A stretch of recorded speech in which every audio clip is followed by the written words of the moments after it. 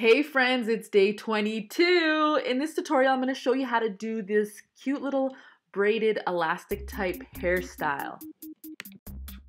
So first I'm going to make the three sections for the braid and then the two sections I'm just going to put up until I'm ready to work with it. And I'm going to take this one section and I'm going to grab an elastic band so I'm just placing that elastic at the very top there and when I'm twisting, as I'm twisting, I'm pulling the elastic down to get this effect.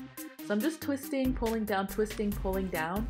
And because I don't have enough elastic, I had to grab another elastic and do the same thing.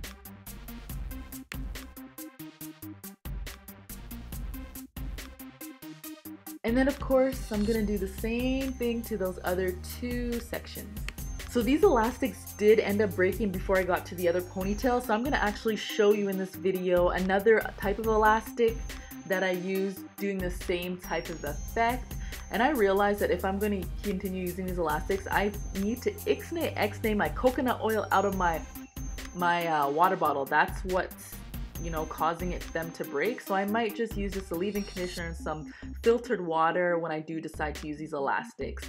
So now when you're finished, you're just gonna take those braid, those sections and you're gonna braid them like so. And at the bottom, you're just gonna get another elastic and do the same type of technique. And there you go. Like how cool does this look?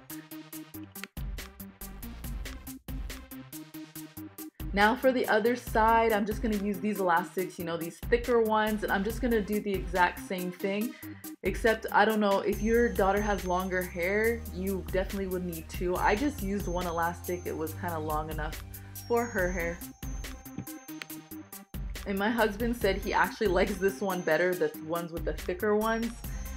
But I actually like the ones with the, the plastic elastics better. What do you guys think?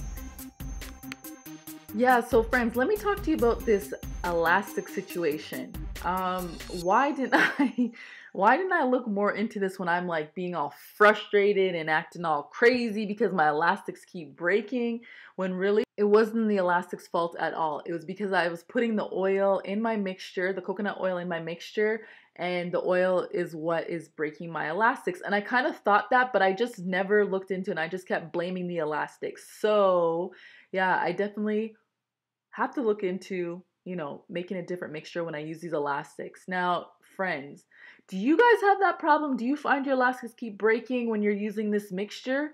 Huh? Let me know. Well, I hope you guys like this video. Please don't forget to like and subscribe for more tutorials. Love you guys. See ya tomorrow. Bye, bye, bye, bye, bye.